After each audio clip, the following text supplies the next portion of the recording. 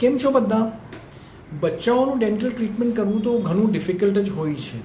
હવે સૌ કંઈ પણ આપણે ડેન્ટલ ટ્રીટમેન્ટ કરીએ છીએ તો લોકલ એનેસ્થિઝિયા એટલે ઇન્જેક્શન આપવું તો જરૂરી જ છે. આ ઇન્જેક્શન બહુ કોમન વસ્તુ છે ડેન્ટલ ક્લિનિકની ઠીક છે? તો અમારા ક્લિનિકમાં તો અમે ઇન્જેક્શન વાપરતા જ નથી. અમે આ સ્પેશિયલ ડિવાઇસ વાપરીએ છીએ સિંગલ ટૂથ એનેસ્થિઝિયા એસટીએ કહે છે, આનાથી પેન બિલકુલ થતું જ નથી. પણ હવે ઇન્જેક્શન તો આપણે આપી દીધું, તો એનો અસર તો થવાનો જ છે. હવે મેઇન પ્રોબ્લેમ શું છે કે ઇન્જેક્શન આપવામાં તો આ સિસ્ટમના વજહથી તકલીફ નથી થતી, પણ હવે બચ્ચાઓની કેર કેવી રીતે લેવાની? હવે કયું બી ફિલિંગ હોય છે યા દાંત નીકાળવાનું હોય છે યા રૂટ કનાલ આપણે કરી કાઢીએ છીએ પણ આપણે જે લોકલ એનેસ્થિઝિયા આપે છે, એનો અસર મિનિમમ દોઢથી બે અઢી કલાક તક બી રહી છે.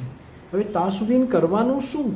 ને જ્યારે બી આ પ્રોસિજર આપણે ટ્રીટમેન્ટ કમ્પ્લીટ કરી લે છે, તો આપણી અસિસ્ટન્ટ શું કહે છે? ઘણા ઇન્સ્ટ્રક્શન્સ આપે છે પેરેન્ટ્સને પણ શું ઓલું બચ્ચું રોતું હોય, સતાવતું હોય, યા અમુક ટાઈમ એટલી ઘાઈ ગડબડી હોય રશ હોય ક્લિનિકમાં તો આખા ઇન્સ્ટ્રક્શન્સ બરાબરથી પેરેન્ટ્સના ધ્યાનમાં નથી આવતા ને એના સબબ ઘણા કોમ્પ્લિકેશન્સ થઈ જાય છે.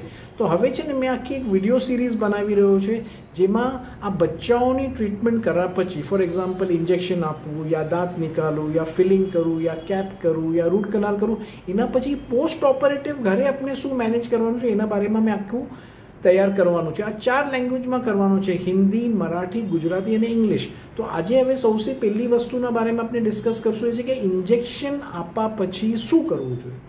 હવે ડેન્ટિસ્ટે આખું, એ પીડિયાટ્રિક ડેન્ટિસ્ટે આખું પ્રોસિજર કરી કરવું હવે તમે બહાર આવી ગયા. તો હવે એક વસ્તુ ધ્યાન રાખવાની છે કે એ બચ્ચું છે. ઠીક છે? તો હવે મિનિમમ દોઢથી બે કલાક એને કંઈ પણ ખાવા પીવાનું આપવાનું નથી.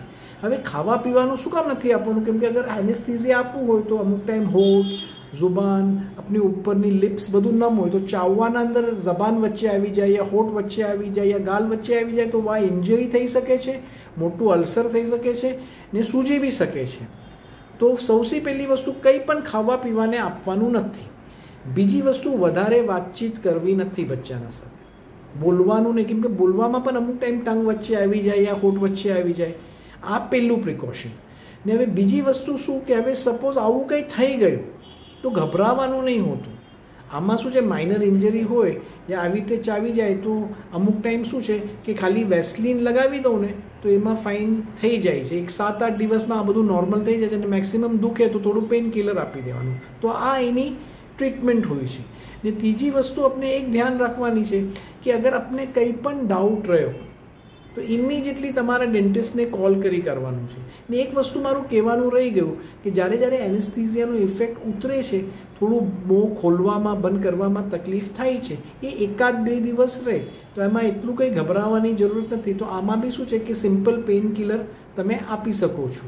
તો આ બધી કેર આપણે એનેસ્થિઝિયાના પછી લેવી જોઈએ. ને આમાં બી અગર તમારે કંઈ પણ એવી વસ્તુ દેખાય જે તમારે નોર્મલ લાગતી નથી ઇમિજિએટલી તમારા પીડિયાટ્રિક ડેન્ટિસ્ટને કોલ કરો, તો એ ઇમિજિએટલી તમારે હેલ્પ કરી શકશે. થેન્ક યુ વેરી મચ તમે તમારો એટલો ટાઈમ આપો. હું doctor Yusuf Chunawala pediatric dentist અને બેડ બ્રેથ સ્પેશિયલિસ્ટ છે અને પૂનામાં મારું પીડિયાટ્રિક ડેન્ટલ કેર ક્લિનિક છે. Thank you very much